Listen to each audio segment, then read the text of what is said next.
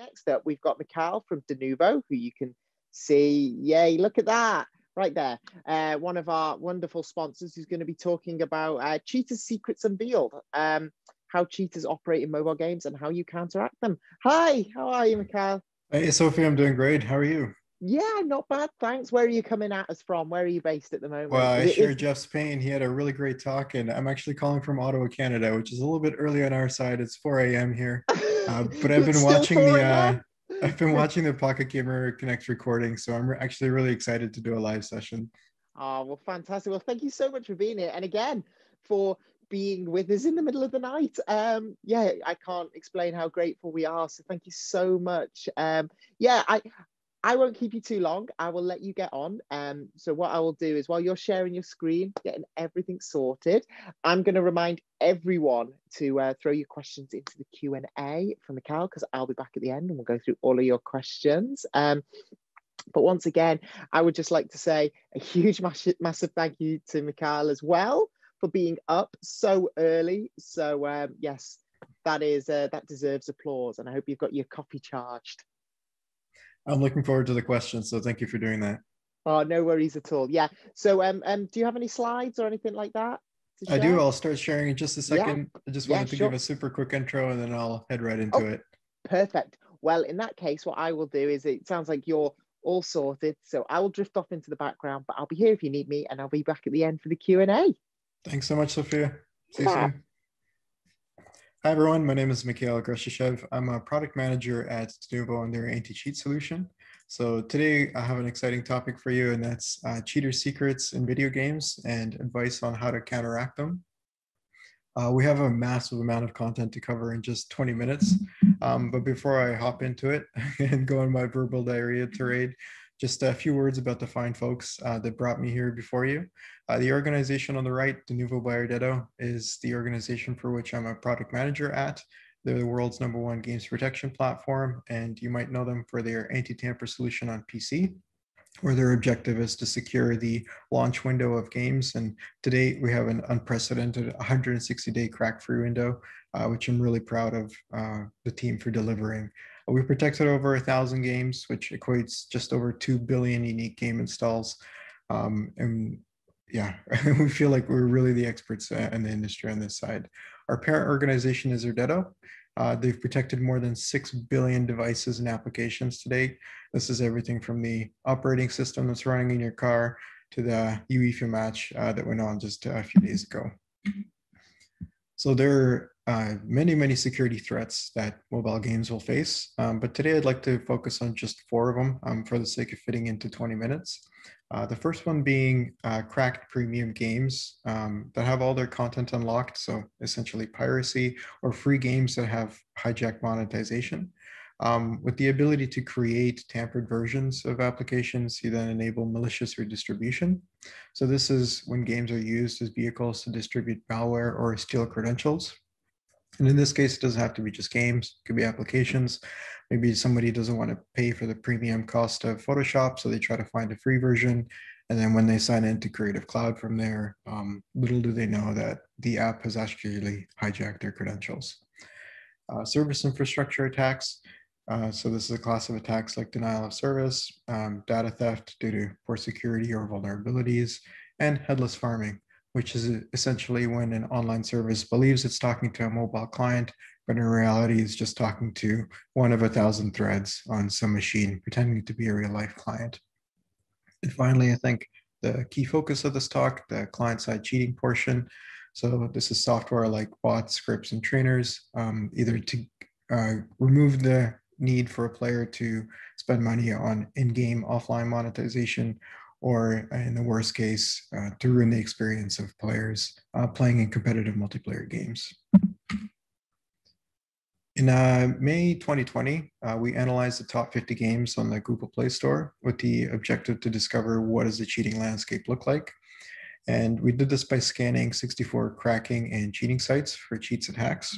And what we discovered was that 86% of the games in the top 50 had a cheat available, and of those that were available were actually up to date to the latest version. So this means you can download an app from the Google Play Store and then most of the time find a cheat that is already updated to work with the latest app. Uh, these cheats were delivered in two forms. Uh, the first form was a version that is uh, in which the app is already tampered with the cheat or hack already pre-installed. So you would be downloading a tampered application that already has the cheat software built in. And the other one would be delivered as a client-side hack, uh, most of the times a memory editor, um, which work on a pristine version of the game. So this means you can go to the App Store, download um, the pristine version of the app, and then use a third-party uh, tool to then uh, cheat or otherwise hack the app. So let's take a look at how these tampered apps are created and how these memory editors are created. Uh, apologize for the grain, not sure why I did that. so the tampering process for uh, Android and iOS is actually the same. And the process is you analyze the application to find decoder data to patch. You would then change decoder data uh, in the application, re-sign it, and re redeploy it to the device. But of course, the devil is in the details, so let's find out how this is done. So the first step to creating uh, a tampered app is to analyze it, and to analyze it, you first have to unpack it. So on Android, this process is quite trivial.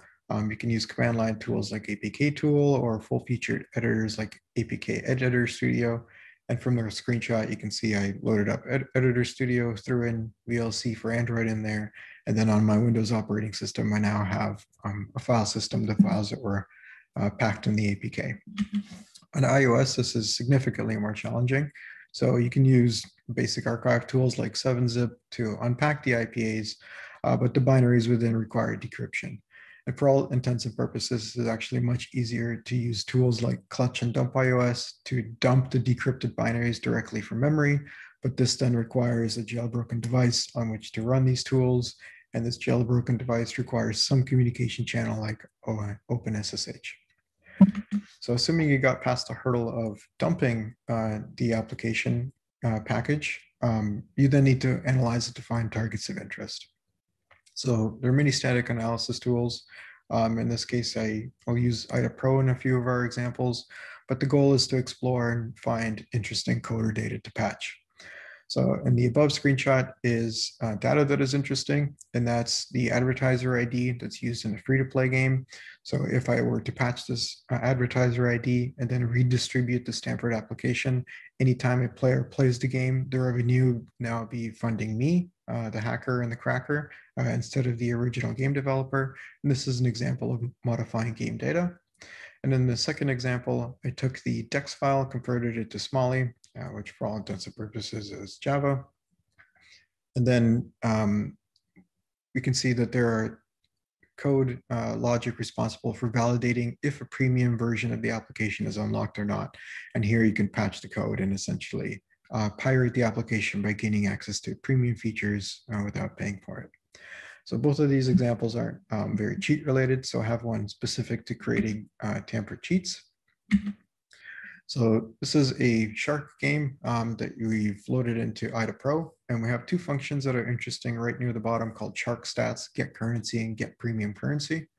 And if in IDA Pro we navigate to these functions, we get the uh, ARM assembly instructions that are behind it.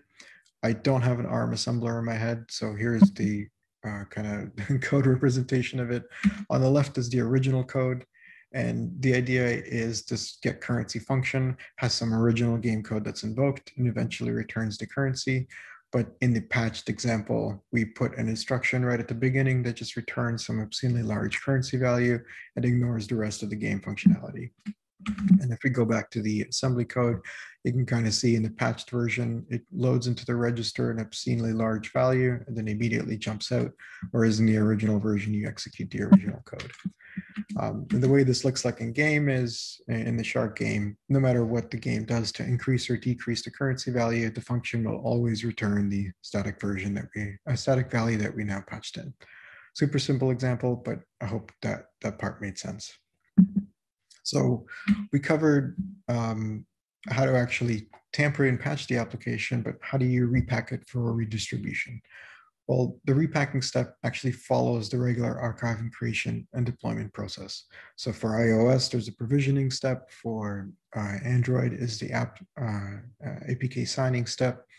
um, and re-signing uh, the apps enable resubmission to app stores. And this is how you end up with these cloned and copycat apps, which are essentially the original um, version of the application with a few assets either changed or stripped and then republished um, to steal revenue from the original developer.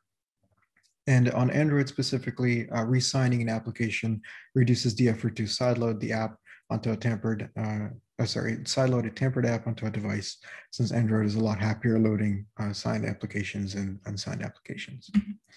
And once distributed, this is where the damages begin. So before that, really, if somebody wants to go through this process and modify the app for themselves, they can knock themselves out. Um, but once it's been distributed, uh, this is where the danger starts. So cheats built into tempered apps um, reduce in-app purchases. Um, once you have a tempered app that gives you unlimited coins, why would you purchase premium currency? Um, and more importantly, the will damage legitimate players' multiplayer experience if your game has a competitive multiplayer. So tempered apps have their monetization vehicles hijacked. So this doesn't just mean you lose your stream of revenue, but instead that stream is redirected to fund future hacking efforts. And cracked premium apps will, of course, reduce the amount of premium purchases through the App Store. Um, if I can avoid spending two or three bucks, maybe that will be enough to motivate someone to go find the app for free on Pirate Bay or something like this. And finally, kind of a hidden danger and a hidden cost is the increased support effort and brand damage as a result to users working with cracking apps. Oftentimes, a user will not be able to tell if an issue with an app is because of a crack or because of the base product and essentially you begin to rack up overhead um, through the cracked apps that are available out in the wild. So we just covered the left side portion, which is the 84% of apps um, that had tampered copies floating around. Um, next up, I want to talk about the 22% that are hacked using um, client-side tools like memory editors. And just a reminder, the difference between the two is on the left, you're publishing an application with the hacks already applied. And on the right, you're working with a pristine application and instead using a third-party uh, tool to interact with it. So how are apps attacked by memory editors? Well, to begin, they have two requirements. The first is you need the actual third-party tool, like a memory editor, to interact with the application. And the second one is a big one, and memory editor needs to have um, elevated privileges to actually interact with the application. And for all intents and purposes on modern Android and iOS, this is not possible without a rooted device. Uh, the permission levels cannot be granted to regular sandbox applications uh, running. So assuming these requirements are met, then this enables the hacker to attach a memory editor to the application, uh, look for sensitive coder data, alter that coder data, and then publish a script that essentially automates step one to three so millions of other users can do the same. This is what this looks like. So on the left, I have a game in which a character has 600 hit points. Uh, the character uh, the, the next step would be to open up the memory editor and search for the value 600. And essentially the memory editor will go through the process and returns all the memory regions that have the value 600 in them. Um, hint, there's gonna be hundreds, if not thousands, um, since there's nothing that unique about this value. Uh, the next step is to then run around in the game, take a little bit of damage, and you can see the player's health has now been reduced to 480. So we go back to the memory editor and input 480. This is where a little bit of the secret sauce happens. Um, it now takes the values that used to be 600 and checks which ones have reduced to 480. And this is an event that's rare enough that it could figure out that, hey, there's only one memory region that had this type of behavior. And it so happens to be the memory region responsible for representing the character's hit points. The memory editor can then um, freeze this value. Um, this option on the left. But on the right, you can now see a character taking repeating repeated damage, and the game engine is struggling to properly decrement the character's hit points. And for all intents, intents and purposes, the character is now uh, invulnerable. So the, the, the cheater has given himself invincibility.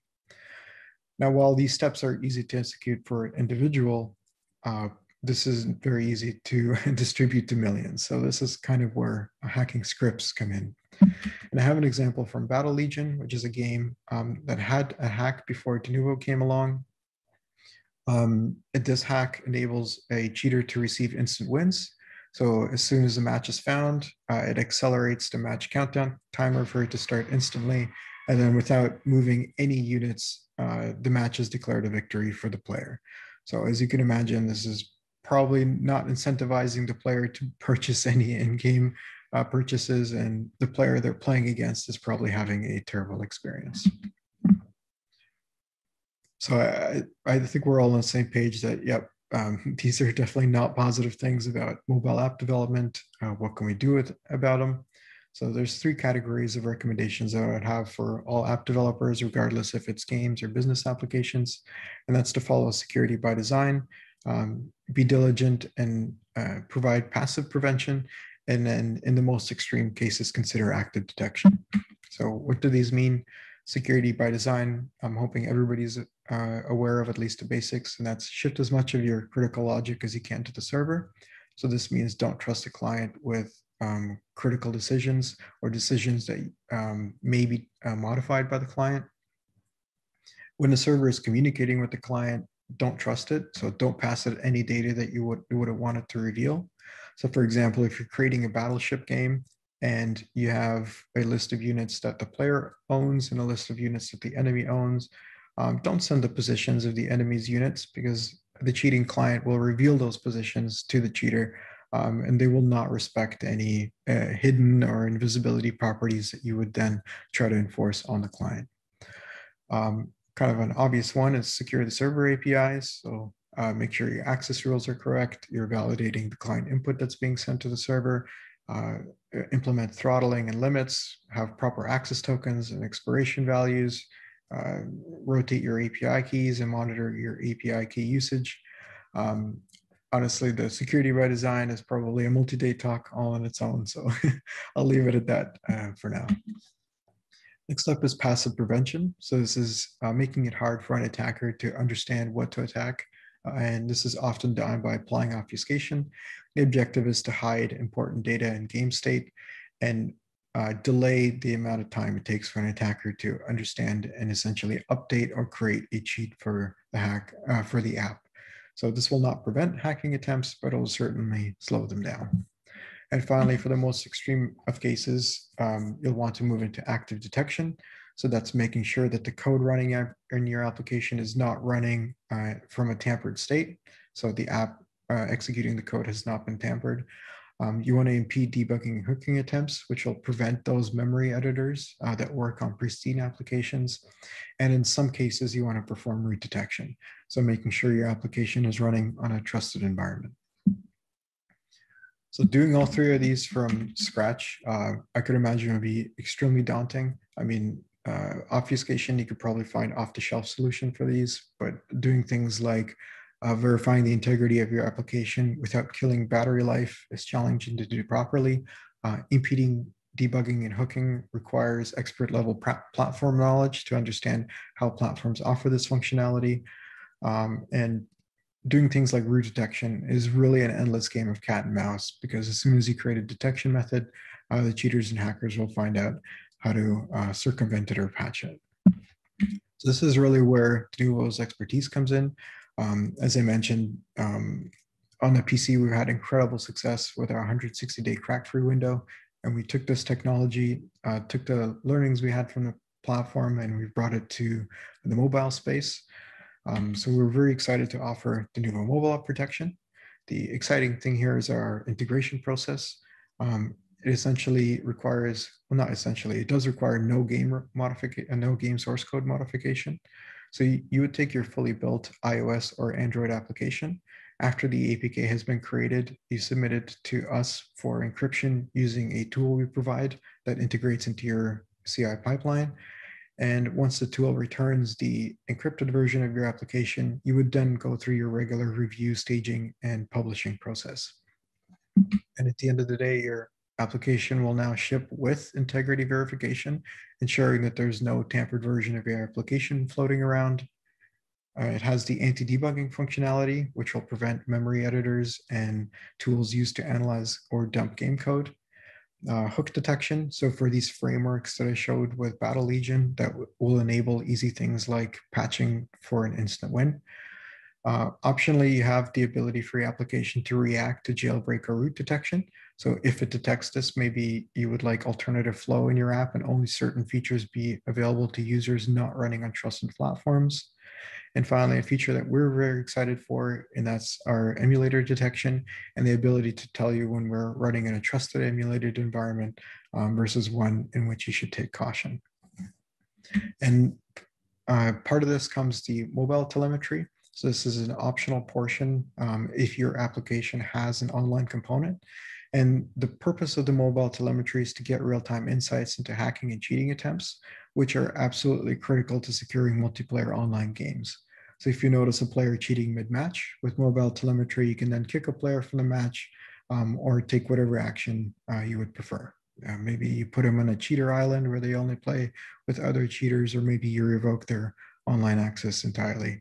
It's really up to you. And of course, this mobile telemetry is accessible via APIs and has an integration with every major uh, game platform.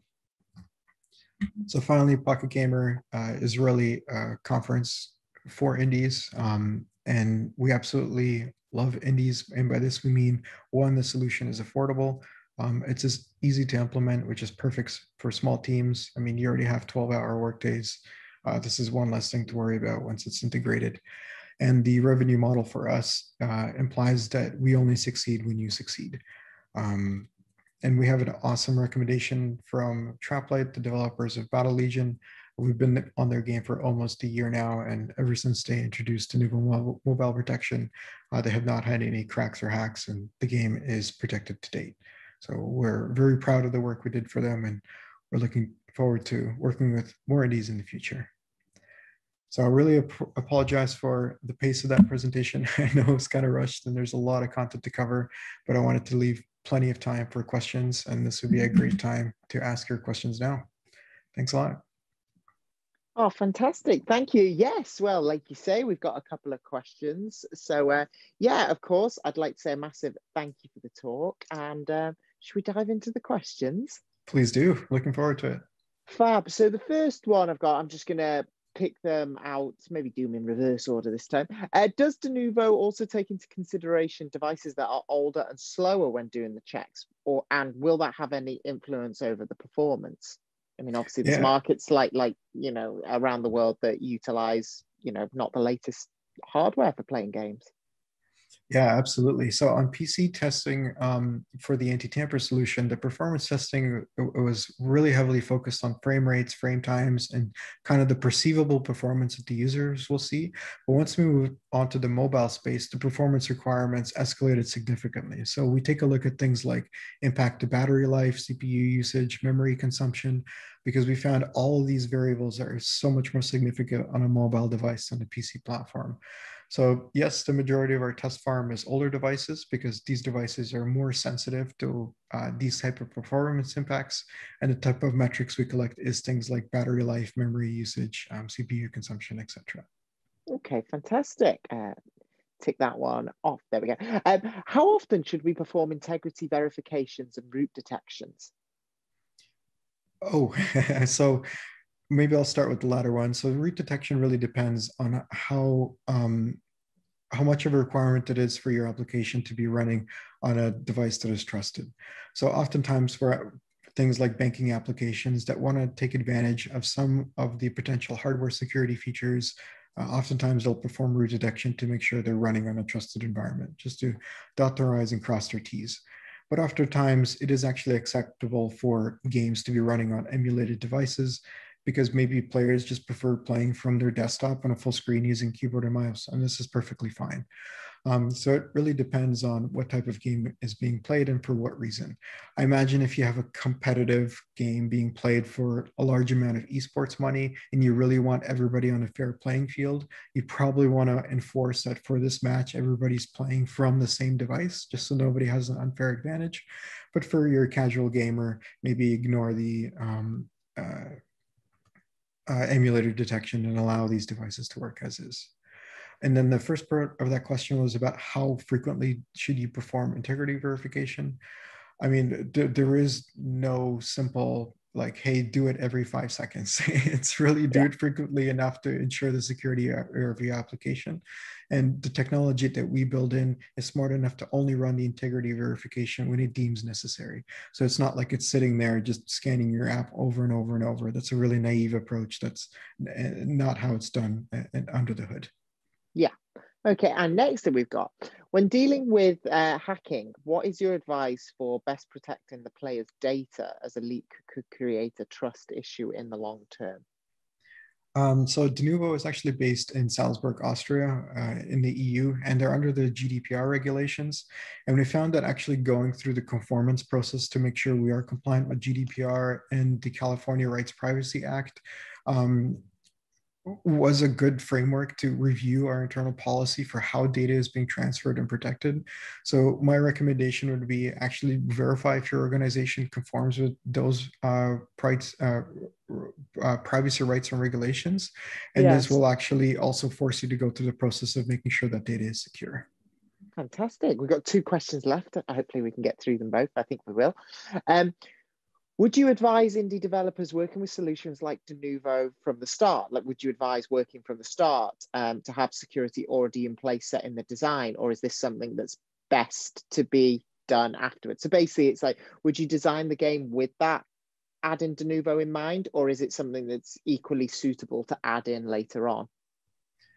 So I, the solution is really built in mind where somebody doesn't have any time available and last minute they need to apply a solution. Okay. Um, but by all means, that doesn't mean that's the optimal way to use it. So yeah. as I mentioned, for example, with the mobile telemetry where you have the ability to see if somebody's cheating, cheating in real time, uh, I think if ahead of time a developer knew they had an ability to create an experience from that type of functionality, they can really design their multiplayer experience around that um, and add the necessary UI elements to maybe notify other players that a cheater has been detected and kind of proactively build an experience around that. There's value from it. Uh, but if there is no time to allocate to security and really the focus of the game developer should be making an awesome game experience, uh, the solution is more than usable last minute and applied as is. Ah, fantastic. Yeah. Uh, next up is when dealing with, um, well, it says here, when dealing with, for example, Chinese markets that um, are known for, you know, sometimes controlling how your game is approached can be difficult. Um, is using anti-tamper solutions enough or should we take additional measures? So I had an interesting slide in the deck that I removed um, because in order to cut time, but we did find that more, more than 86% of tampered applications actually came from China. So to us, this was, we heard the situation was bad, but we didn't quite know uh, uh, how bad it was over there. So the anti-tamper solution does work in that region and it works by sandboxing that region. That means any data from China stays in China and vice versa. Um, and from the experience we had so far protecting applications there is yes, it is more than enough. So anti-tamper has protected, uh, sorry, Denuvo mobile protection has protected mobile apps in China um, with them remaining uncracked so far for nine months because that's how long the solution has been out on the commercial space. Um, and we're hoping that nine months just extends even further. But right now, we don't see any uh, evidence of increased hacking in China versus other regions once mobile protection is applied. Fantastic. And last question we've got, we've got actually got one more in, is from Brian, who is the editor of PocketGamer.biz. Uh, said, do you find that developers tend to offload all responsibility for data security, privacy, etc., to publishing partners, or are they dealing with it themselves? Um, it's a mix. Uh, oftentimes, organizations that have the resources to dedicate to data privacy and just security of their organization in general uh, do want to maintain ownership and control of that data flow. And at the end of the day, in the regulations, they are then the data processor and the data controller. But oftentimes um, we'll deal with organizations that say, listen, guys, we just really want you to own this problem for us and use you as a white glove service. And in this case, we have a document that states we become the data controller, we become the data processor. And from a regulation, regulation, regulation standpoint, uh, that onus and responsibility legally falls on us. So it's really a mixed bag. And I would say in most cases, um, we're handed the bag to deal with the problem. Uh, and in rare cases, the organization has the security effort effort to maintain uh, the data themselves. Fantastic. Well, that's we got through all the questions as well, and we're bang on time. So thank you so much, Michail. Thank you for sharing all of that insight uh, with us. And uh, hopefully, a lot of the people in the audience found that vastly interesting if they didn't already know about you. Amazing. Thank you so much, Sophie. I had a great time. Ah, thank, ah, thank you so much. Yeah. And like, like, like I said before, um, go get some coffee or go to bed or whatever it is you're doing next. Go relax and enjoy. I know. Have a great time, everyone. Oh no, thank you. Uh, yeah, like I say, uh, another another uh, speaker pulling double duty there. So thank you so much. Thank you to Michail.